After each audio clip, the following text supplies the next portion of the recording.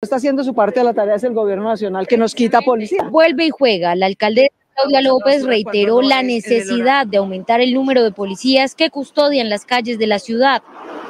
La policía no puede hacer milagros, son solamente 15 mil miembros de la policía cuando deberíamos tener 18 mil por lo que hemos pagado.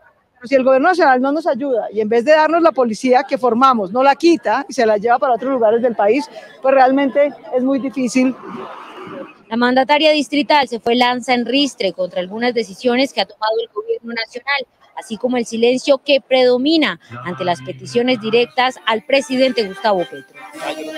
Desafortunadamente no hemos obtenido hasta ahora una respuesta del gobierno nacional. Yo ayer volví a reiterar públicamente la solicitud. Somos Bogotá, los que con nuestros impuestos hemos pagado los carros, las motos, las 8.500 cámaras, los 5.000 frentes de seguridad. Ante la molestia de López, la Policía Nacional se pronunció y explicó que el convenio que financió la Alcaldía Mayor de Bogotá inicialmente contempló la formación de 1.500 uniformados, pero se entregaron en diciembre de 2022 1.399 policías, ya que 40 uniformados se retiraron y otros 61 procesos fueron aplazados.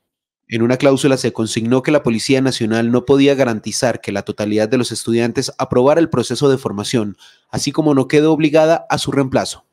La alcaldesa asevera que la situación de inseguridad es compleja y que la ciudad no puede esperar hasta diciembre para recibir más policías.